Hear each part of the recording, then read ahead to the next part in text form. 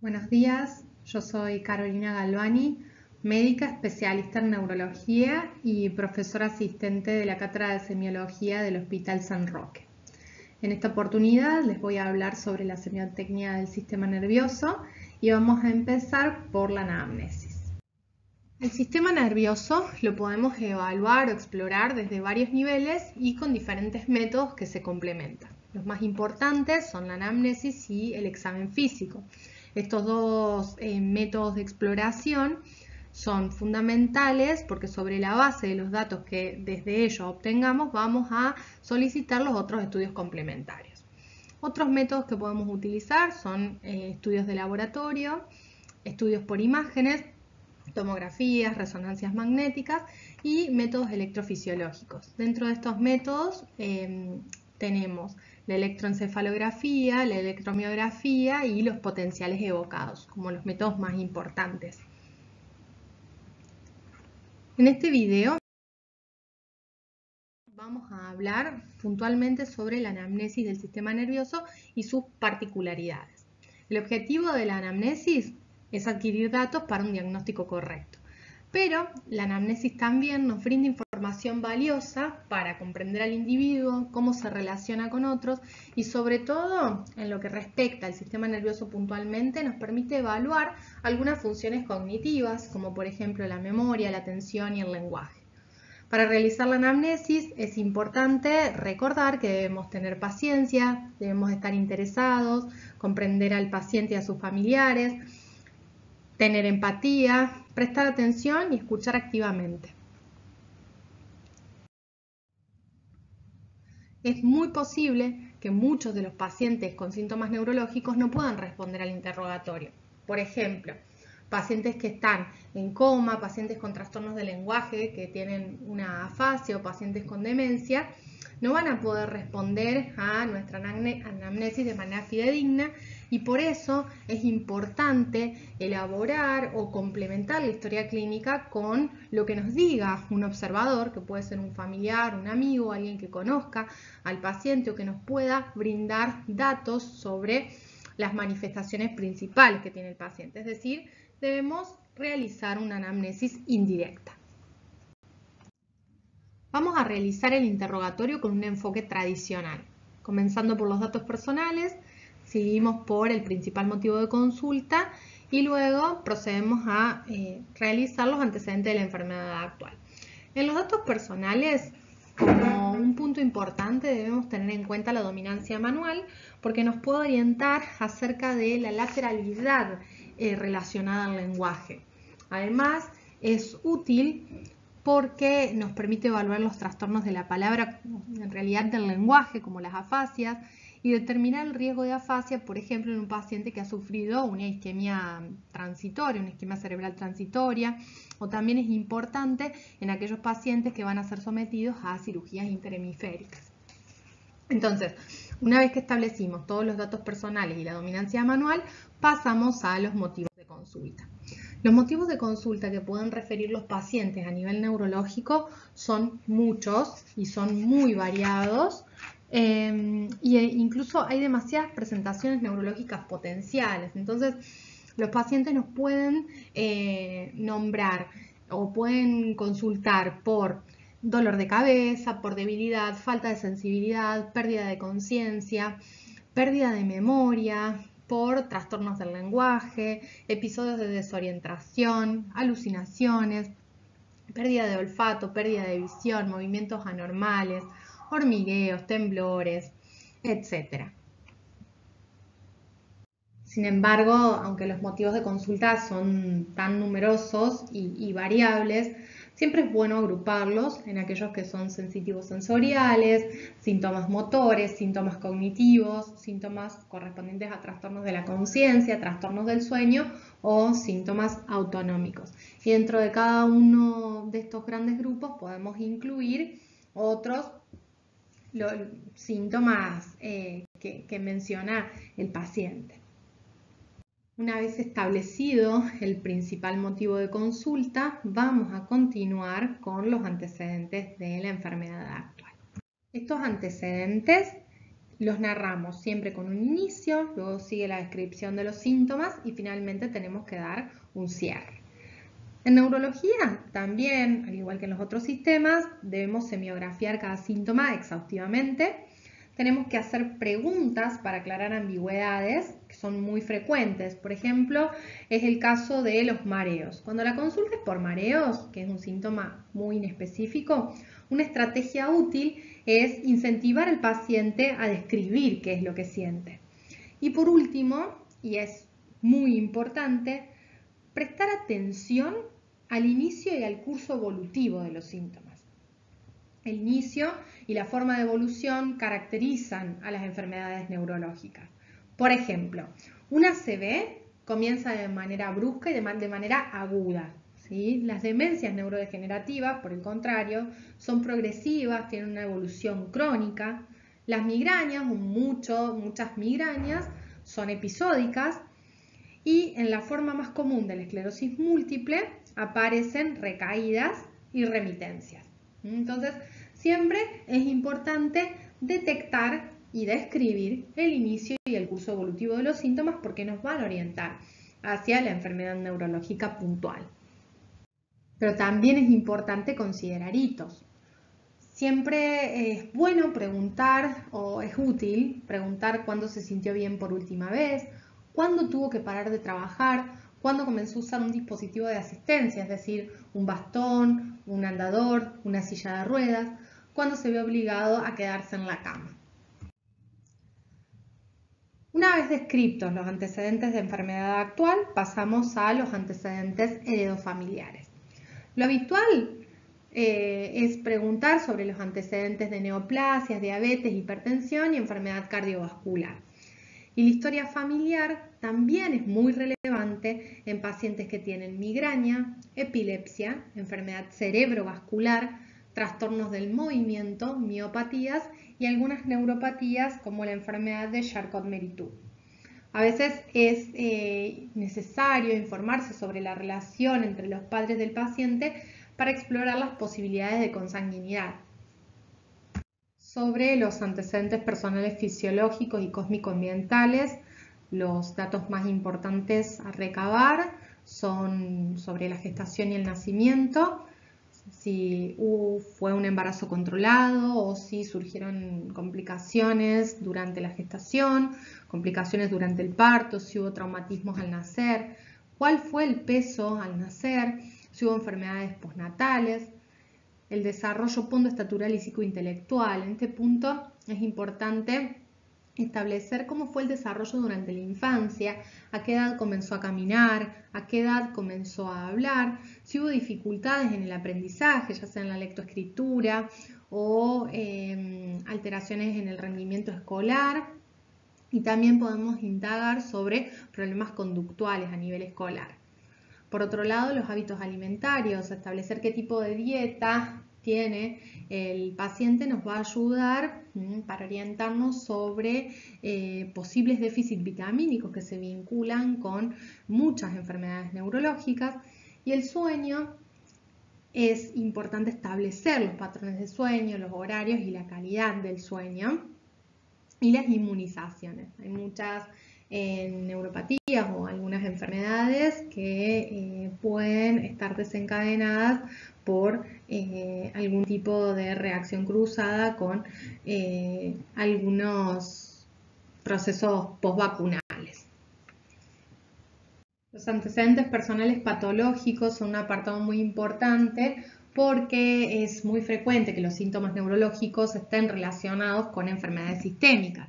Y en este punto tenemos que preguntar por enfermedades padecidas en la niñez, por ejemplo, convulsiones febriles, neuroinfecciones como meningitis y encefalitis que pueden traer secuelas importantes eh, desde el punto de vista neurológico a futuro. Enfermedades padecidas en la adultez, es fundamental preguntar por diabetes, hipertensión arterial, cardiopatías, trastornos tiroideos, enfermedades infecciosas, sobre todo VIH, sífilis, tuberculosis. Preguntemos por hepatopatías, por conectivopatías y por supuesto por antecedentes de neoplasia. Eh, hay que indagar sobre internaciones previas, antecedentes quirúrgicos y traumáticos, sobre todo tener en cuenta los traumatismos cráneoencefálicos y por hábitos tóxicos, indagar si el paciente consume alcohol, qué cantidad, tabaco, drogas. Em, tenemos que hacer especial referencia al uso de estas sustancias porque no solo pueden causar mm, síntomas o complicaciones neurológicas, sino que también pueden ser las razones de un síndrome de abstinencia, por ejemplo. Y por último, indagar sobre la medicación habitual, sobre todo por eh, opioides, benzodiazepinas, neurolépticos. Eh, muchos fármacos tienen efectos secundarios neurológicos significativos. Por ejemplo, se puede desarrollar un síndrome confusional en un paciente anciano por el uso de opioides o bien eh, muchas drogas pueden causar mareos, calambres, como diuréticos, parestesias, cefaleas, debilidad. Eh, una práctica útil, o por lo menos que, sirve en el ámbito de la práctica en la neurología diaria, es eh, hacer que el paciente traiga una lista con sus medicamentos o sus medicamentos directamente porque la mayoría de las veces están polimedicados. Por último, eh, la anamnesis sistémica. La anamnesis sistémica en la práctica de la especialidad se hace para detectar síntomas que involucran a otros sistemas de los cuales el paciente no puede espontáneamente quejarse o manifestar, pero que sí nos dan pistas para el diagnóstico del problema que presenta es fundamental que tengamos en cuenta que cada tipo de patología neurológica tiene una anamnesis característica.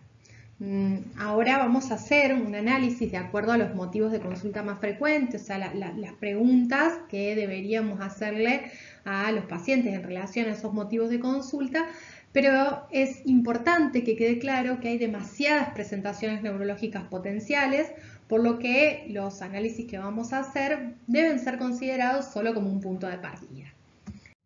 Vamos a empezar por eh, un motivo de consulta muy frecuente, que es la cefalea o el dolor de cabeza. ¿Qué es importante preguntar o identificar en principio si el paciente tiene más de un tipo de dolor de cabeza y hay que tener información para cada tipo de dolor. Posteriormente vamos a preguntar sobre el tiempo, duración y frecuencia.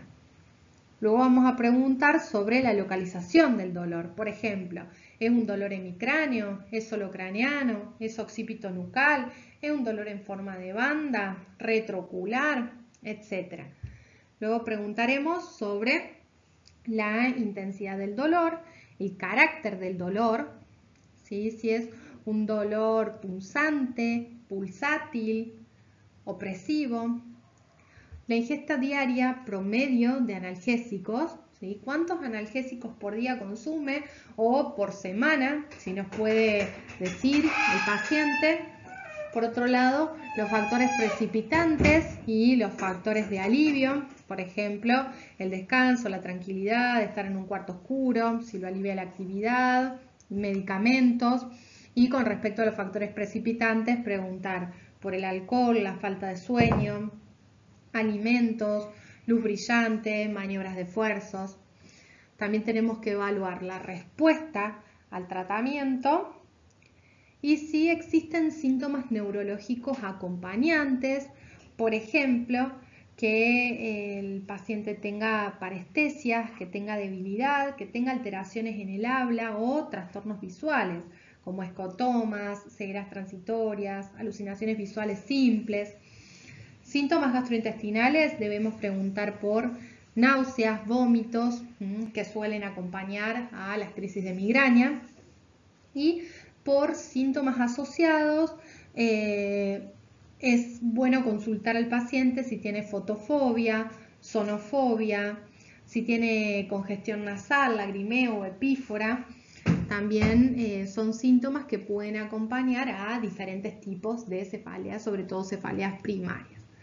Y respecto a los antecedentes tenemos que tener em, especial cuidado con aquellos pacientes que han tenido traumatismos cráneoencefálicos o con aquellos que tienen enfermedades sistémicas como VIH o neoplasias, porque pueden hacer eh, cefaleas secundarias a metástasis, o sea, por hipertensión endocraniana.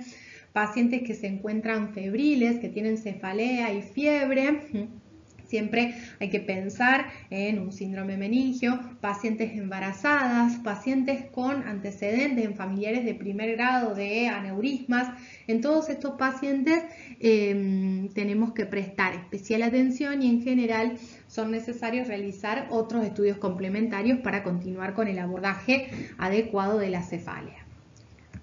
Otro de los motivos de consulta muy frecuentes es la pérdida de conciencia episódica y aquí aparece el clásico diagnóstico diferencial entre el síncope versus la crisis epiléptica. Entonces tenemos que preguntar para poder diferenciarlo sobre la frecuencia y la duración del episodio, si el paciente recuerda o no el evento, es frecuente que en las crisis epilépticas el paciente tenga una amnesia del hecho cuáles fueron las circunstancias del evento, si, fue en la ducha, después de una flebotomía o si fue una pérdida de conciencia eh, espontánea sin, relacionarse a ningún tipo de, evento.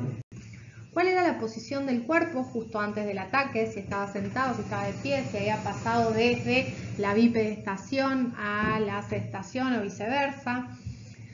Si hay pródromos, ¿sí? palpitaciones, sudoración, palidez, se asocian más a síncope o si hay auras, que actualmente se denominan crisis epilépticas de inicio focal, eh, son frecuentes en las epilepsias. Si aparecen movimientos tónicos o clónicos o movimientos anormales, aparecen en general en las crisis epilépticas. Si hay incontinencia, puede aparecer en los dos, pero es frecuente en las crisis epilépticas y si hay mordedura de lengua.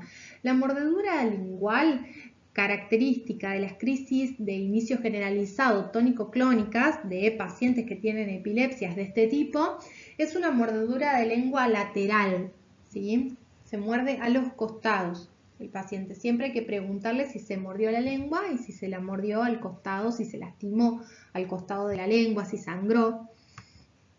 Tenemos que indagar sobre síntomas posteriores al episodio, si hubo sueño, déficit neurológico focal, dolor de cabeza, estos síntomas posteriores o dolor corporal se asocian a crisis epilépticas. Si hubo un testigo que nos describa siempre, un tercero que nos describa el, el evento,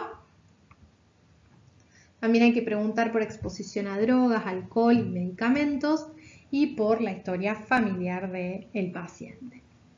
Sobre todo en los casos en que sospechamos epilepsia. Y para aquellos pacientes que consultan por episodios de debilidad o trastornos sensitivos, que también es súper frecuente, hay que indagar sobre la hora y el momento específico que se inició el, episodio, si fueron varios eh, y si fueron transitorios. Hay que describir también la frecuencia y la duración, qué partes y qué funciones específicas del cuerpo están involucrados en esa debilidad. No es lo mismo una monoparesia que una hemiparesia o una paraparesia, porque nos orienta a diferentes zonas topográficas de lesión del sistema nervioso. Entonces siempre es importante describir con detalle qué partes y funciones están comprometidas.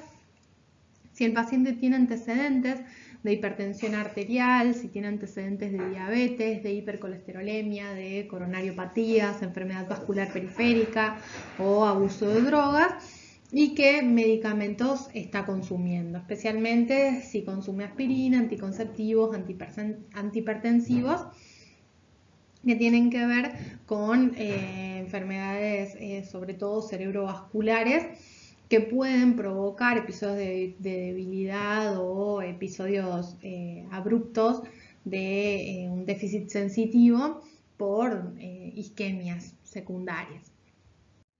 Otro de los motivos de consulta frecuentes son los mareos es importante que el paciente establezca una definición precisa de lo que siente por mareos, no es lo mismo sentir inestabilidad o mm, percibir una sensación de giro. También es importante establecer la forma de inicio, la presencia o ausencia de ilusión de movimiento. También deberíamos preguntar si los síntomas son persistentes o si son intermitentes, si cursa con episodios. Y si es intermitente, cuál es la frecuencia y la duración y el momento de estos episodios. Si eh, tiene alguna relación este mareo con la posición del cuerpo, sí es un mareo que aparece cuando hay un giro con los giros cefálicos o cuando la persona pasa de la sedestación a la bipedestación, preguntar si cede o no con el reposo y cuáles son los síntomas asociados, si hay náuseas, vómitos, pérdida de audición, en ese caso podríamos pensar en un síndrome vertiginoso periférico, en cambio si tenemos debilidad u otros síntomas neurológicos em, focales, eh, podríamos pensar en un vértigo más de origen central y no nos tenemos que olvidar de preguntar por los medicamentos, sobre todo medicamentos como los antihipertensivos o los ototóxicos. Por último, los eh, movimientos involuntarios anormales. En este caso vamos a eh, hacer interrogatorio, a hacer el interrogatorio, pero también eh, es muy importante apoyarnos sobre el examen físico. En el interrogatorio tenemos que preguntar, y si bien muchas veces lo vamos a ver, muchas veces no, cuál es la región corporal comprometida, ¿Cuál es la velocidad del movimiento? ¿Son movimientos lentos? ¿Son movimientos rápidos? ¿Cuál es el ritmo del movimiento? ¿Son movimientos regulares, irregulares? ¿Cuál es la frecuencia, la amplitud? ¿Son movimientos amplios o son movimientos pequeños, breves? Si aparece con la acción, con la postura o en reposo, sobre todo para el análisis de los temblores, es muy importante. ¿Cuál es la intencionalidad? ¿Son movimientos que tienen o no tienen alguna intencionalidad? ¿Y cuáles son los puntos desencadenantes o puntos gatillo? Por último, vamos a detallar algunos de los conceptos más importantes. En la anamnesis nos tenemos que asegurar que se relaten y describan todos los síntomas Debemos precisar la fecha y hora de comienzo de los mismos. Sobre todo es muy importante en las enfermedades cerebrovasculares. Debemos precisar la forma de comienzo, si existieron o no pródromos y el orden en que fueron apareciendo los síntomas y precisar la evolución. Muchas gracias. Ante cualquier duda o consulta les dejo mi mail.